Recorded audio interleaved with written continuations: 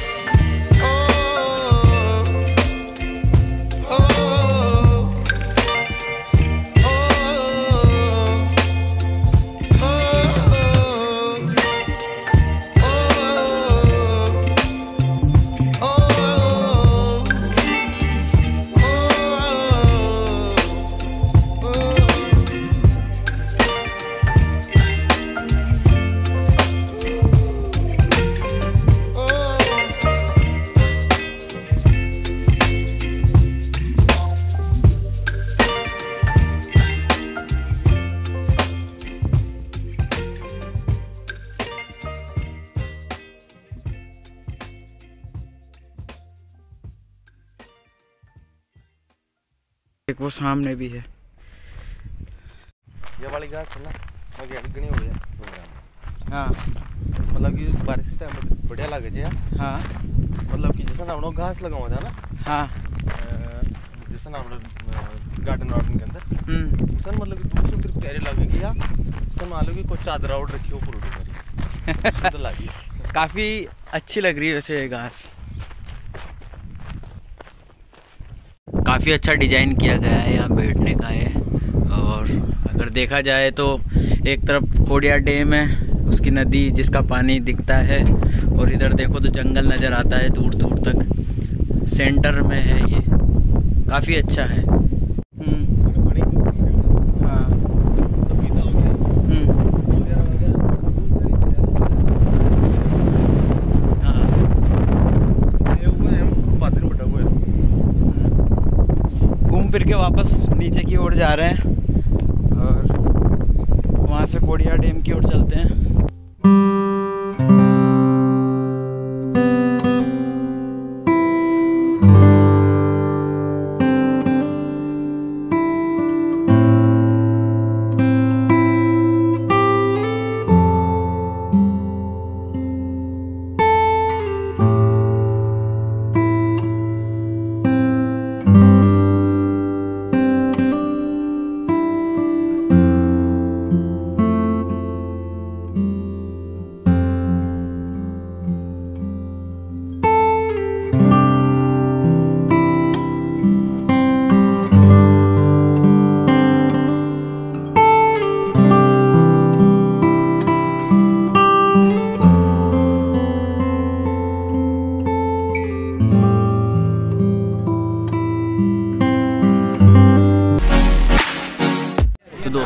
दोस्तों माता मंदिर आ गए हैं। ये काफ़ी फ़ेमस है और आज रविवार का दिन है तो काफ़ी लोग यहाँ पर आते हैं। काफ़ी मानते हैं लोग इस मात, इन माता जी को और काफ़ी श्रद्धालुओं का दूर दूर से लोग यहाँ पर आते हैं। काफ़ी विख्यात है धारी में ये पूरे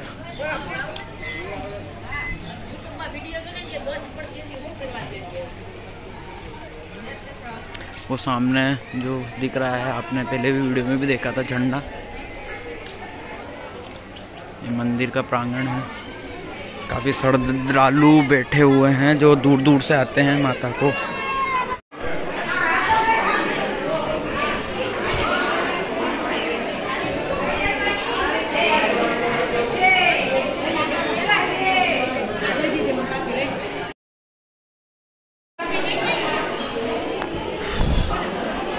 काफ़ी लोग मान्यता रखते हैं यहाँ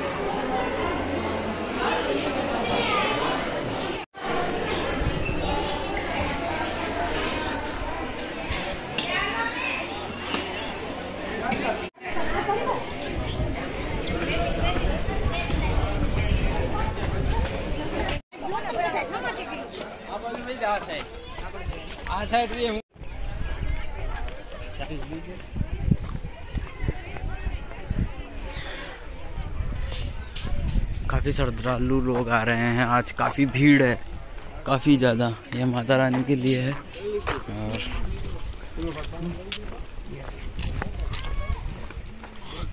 वो कोडिया डैम है।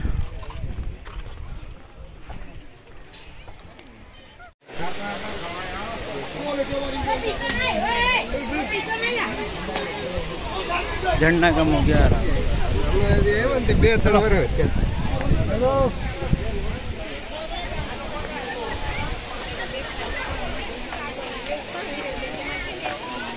पिछली बार आए थे जब तो काफ़ी पानी था यहाँ पे और अभी तो झंडे सूख चुके हैं और कम भी बह रहे हैं। मछलियों को डाल रहे हैं ताकि मछलियाँ आएगी। देख रहे होंगे अब मछलियाँ आ रही है। अरे रुक कौन है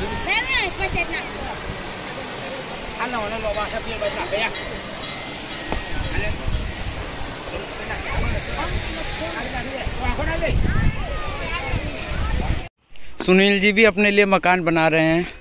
कितना मंजिल मकान बनाओगे?